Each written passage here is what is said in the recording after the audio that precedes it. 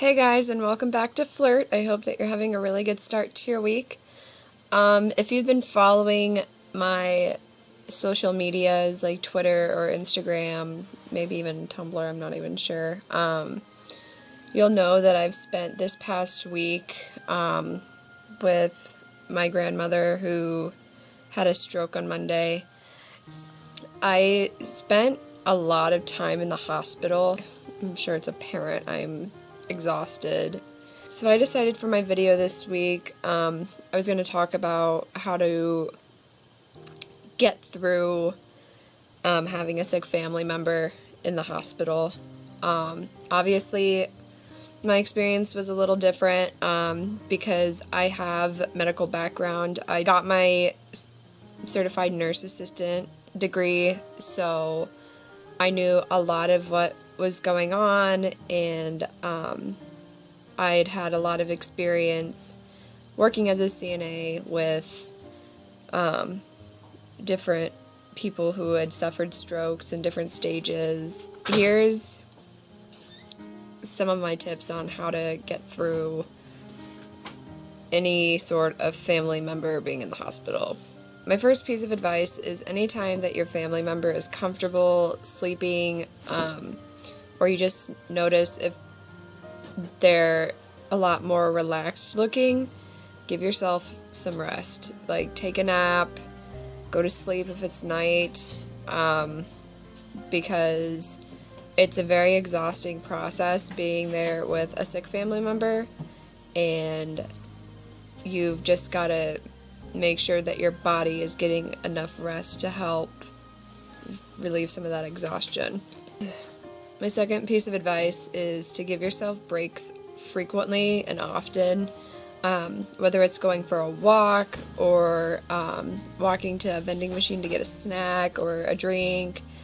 Um, I did a couple times where I went and sat in the visitor's lounge on the hospital floor and did some stuff on the computer just to get out of the room for a little bit, get your mind off what's going on. It gives your mind a little break. Um, and it's good for your mental well being to just not focus on that every single second. As hard as it is, it's good to take breaks, so don't feel guilty doing so. My third piece of advice is to find your support system. Um, I am very fortunate. Um, I had my entire family kind of in and out of the hospital during the times that I was staying there consecutively. Um, so I was able to lean on them, and a bunch of my friends that were in the area offered support and basically told me if I needed anything to let them know, whether it was to sit with me for a while if it was just me sitting there or giving me a place to stay if I needed a break or going and doing something just to get my mind off of things. Kind of figure out who you can go to during that time because it's difficult to handle it on your own and it makes it so much easier on yourself to just accept any help that you can get and take any support Number four, bring stuff to entertain yourself. Um, I guess I was more focused on making sure my grandma was comfortable and relaxed, and I was pretty restless, honestly, and I didn't really bring a lot of things to entertain myself with or distract myself, um, and I actually didn't even watch TV that much, but bringing other things while they're comfortable, relaxing. It's just nice. It gives your mind something else to think about, but you don't actually have to feel like you have to physically leave the room. So I would recommend doing that. Um, like I said, I didn't really bring much, so that's something that could have also helped um, during the process of being there. Number five, if you have any questions for the medical staff, don't hesitate to ask, especially if you need something. Um, I was very fortunate. The medical staff that was with my grandma was very accommodating. Um, if we asked for like blankets or um, anything, basically, they made sure to take care of it for us. Um, I realize that maybe not every hospital is that accommodating or can be that accommodating, but um, especially if you're concerned about what's going on with your family member, it puts your mind at ease knowing what they're doing. Ask because it's part of their job to keep you informed as to what they're doing. And as a family member, you do have a right to know.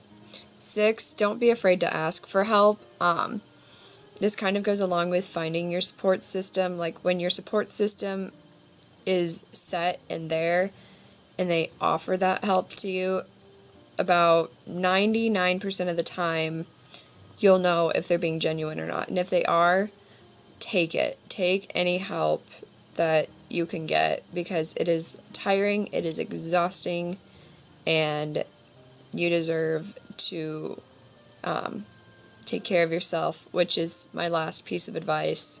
You've got to take care of yourself. Um, one thing with this past week is I've been so consumed taking care of my grandma, making sure she's okay, that I actually neglected my own health.